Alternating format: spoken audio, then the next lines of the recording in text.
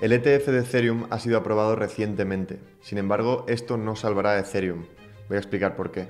Los sistemas económicos tienden a depender de una sola herramienta monetaria, aquella que sea más predecible con todas las mejores propiedades monetarias. Oímos el concepto de Ultra Sound Money en relación a Ethereum pero esto solo se dice porque el suministro a veces decrece. Sin embargo, esto es un error garrafal. No es el suministro nominal lo que hace que un activo sea un buen dinero, sino la no incertidumbre sobre el suministro futuro de ese activo y sobre el activo en general.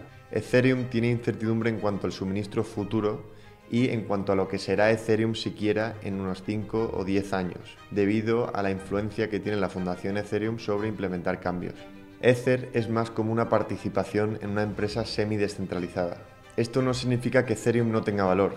Después del merge y la implementación de Proof of Stake, un porcentaje de todas las fees se queman, como si fuera una especie de recompra de acciones, permitiendo a los usuarios que hagan staking o que reciban una rentabilidad de bloquear sus tokens. Como toda empresa o participación de empresa, su valor actual depende de su valor actual de futuros cash flows. Estos cash flows dependen de cuánto se use esta red en el futuro.